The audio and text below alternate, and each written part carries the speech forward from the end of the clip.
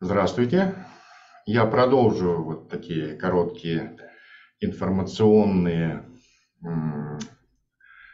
пояснения к, э, к практикам, связанным с мудрыми звуками. И вот предстоит уже в недалеком будущем курс, чтобы э, человек понимал, э, о чем идет речь, как это работает, с чем это связано. И сегодня я хочу сказать вот несколько слов по поводу того, насколько все-таки важно для нас, может быть, мы не замечаем этого, но э, вот рука, кисть является очень серьезным органом, воздействующим не только на внешние предметы, но и на наше собственное сознание. И когда мы поворачиваем, там, допустим, ладонь вверх или вниз, или направляем наружу, или к себе, то это является, конечно, и более понятным жестом, то есть, например, человек контролирует, он как бы вот больше вот так. А если он приглашает, больше может быть вот так. Или просит, может быть. Если хочет оттолкнуть, то вот прям останавливает вот таким образом. И с другой стороны, это играет значение и внутреннее, потому что эм, поворот ладони может быть фактором, скажем, ориентации, направления энергии внутри собственного тела или в каналах. Например, э, если человек взаимодействует, да, хочу сказать еще вот что.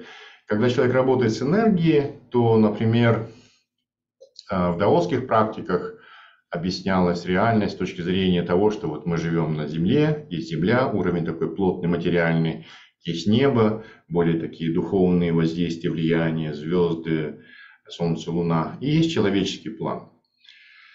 И, например, если человек вот поворачивает ладони к Земле, то он начинает взаимодействовать с Землей. То есть можно энергию Земли поднимать, можно наоборот сбрасывать э, как бы, мутную энергию в Землю.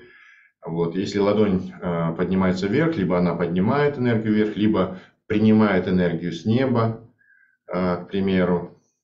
Если ладони друг к другу, то можно что-то вот взаимодействие устраивать или направлять наружу воздействие, направлять на себя и так далее.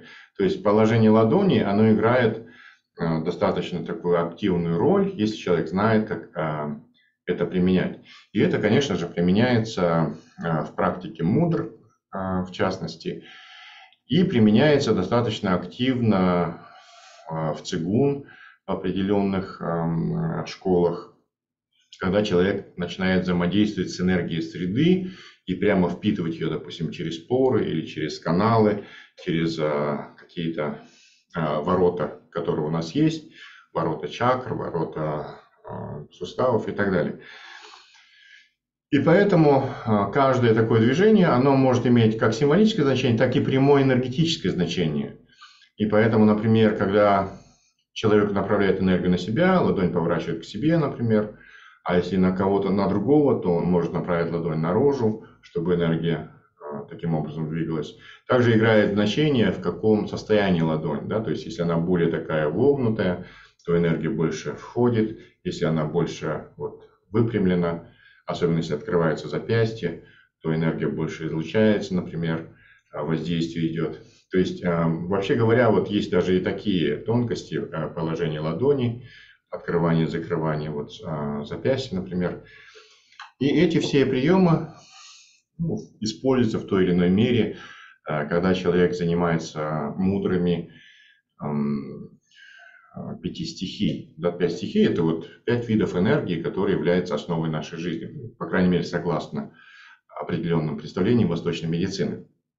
И поэтому, э, если человек обычно делает это неосознанно или чисто вот для того, чтобы оперировать какими-то предметами, то он может делать это еще и осознанно для того, чтобы, скажем, опять же, осознанно управлять внутренними процессами, направлять энергии и осуществлять действия собственной энергии и также э, на следующих этапах возможно воздействие там, работы для того, чтобы помочь кому-то э, другому.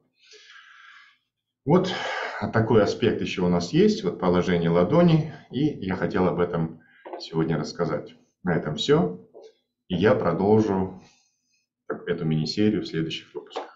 Спасибо.